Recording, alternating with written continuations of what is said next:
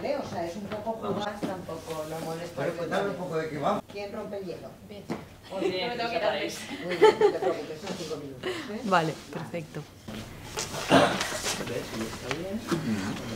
¿Por qué es necesario un Día Internacional de la Mujer? Porque todavía, por ejemplo, en el mundo laboral no estamos en condiciones de igualdad. Creo que es importante reivindicar ese trabajo que no se refleja a lo mejor en, en las pensiones, porque no han cotizado esos años que sí que han estado evidentemente trabajando en casa o cuidando de personas. ¿Que dónde estamos? Encerradas en los despachos porque no tenemos tiempo para socializar en todos esos aspectos donde, eh, no nos olvidemos, se, se, reparten, se reparte el poder. La ONU estima que el 60% del trabajo que se realiza lo realizan las mujeres y sin embargo tan solo el 16% de los ingresos los reciben las mujeres. No hay que trabajar hasta las 9 de la noche, porque ¿qué cosas has dejado de hacer importantes en tu vida y en tu entorno familiar eh, y social para poder estar hasta las 9 de la noche constantemente, además? Es que eso no es una, una cultura de trabajo inclusiva.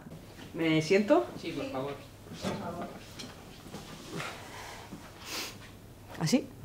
Hi ha igualtat a la Universidad Politécnica? No, no la hay, igual que no la hay en nuestras sociedades. En este foro, que és la Universitat Politécnica de València, pense que eh, en principi sí que n'hi ha igualtat. Hem de treballar molt, hem de treballar molt per a conscienciar, per a sensibilitzar, per a fer paritàries les coses. En los datos de ayudantes hay más mujeres que hombres en la UPV, sin embargo, si llegamos a, la, a lo alto de la pirámide, que sería catedráticos, eh, las cifras están completamente al revés. En muchos ámbitos no tenemos igualdad. No hay el, el, porcentaje de mujeres que nos gustaría hubiese en ciertas disciplinas científico-tecnológicas de nuestra universidad y debemos de trabajar ahí. Yo durante años no tuve una alumna en clase y evidentemente eso ahora mismo no es así. Yo creo que esa perspectiva de igualdad, de pluralidad, de diversidad, tenemos que incorporarla a nuestro saber hacer individual. Hay igualdad en la UPV, pero no,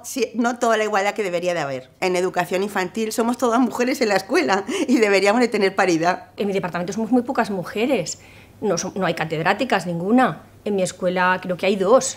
Tengo un director de escuela y un jefe de estudios. Es decir, igualdad no hay seguro. La espontaneidad ya la vas a perder. Mi deseo és que s'acabi d'una vez la violència de gènere. M'agradaria que la societat cada vegada utilitzara un llenguatge més, eh, més igualitari, més inclusiu, un llenguatge menys sexista. Que la dona eh, conseguisca no tindre eh, problemes d'agressions sexuals. Lo primero que aprendiéramos a educar a nuestros hijos desde muy pequeñitos ya en la igualdad. Reivindico que, que se nos vea más y que somos mujeres y como ingenieras también pues podemos aportar mucho. El 95% de los premios Nobel en ciencia en lo que va de siglo han sido otorgados a hombres. Y por lo tanto en la comunidad científica también tenemos que dejar de invisibilizar a la mujer. Y en la sociedad en general tenemos que conseguir que no sea el género lo que te defina como ser humano.